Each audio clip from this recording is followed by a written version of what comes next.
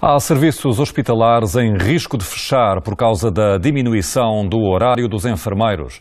O aviso é do representante dos administradores hospitalares, que teme um impacto ainda maior no período de férias.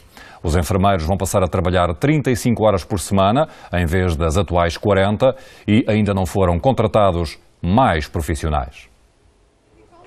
Há mais de cinco anos que os enfermeiros lutam pelas 35 horas semanais.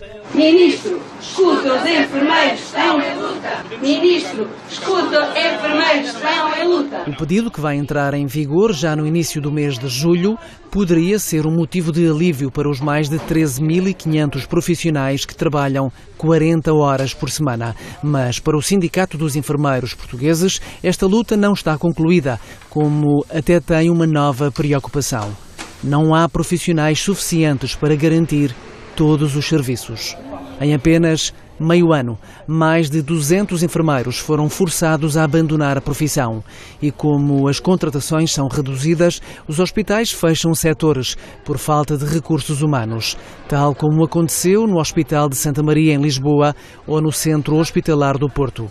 Uma situação que, segundo o sindicato, vai piorar com a redução de horário é que, para assegurar todos os serviços abertos, o governo tem de contratar mais de 2 mil profissionais, uma medida que parece estar longe de ser cumprida.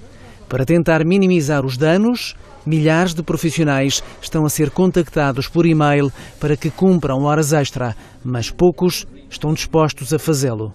Esta sexta-feira há mais uma greve marcada em Lisboa, mais um braço de ferro para a contratação de enfermeiros e para pedir ao governo a garantia de um Serviço Nacional de Saúde com condições para todos. Porque, segundo várias administrações hospitalares, muitos setores podem ser obrigados a fechar as portas.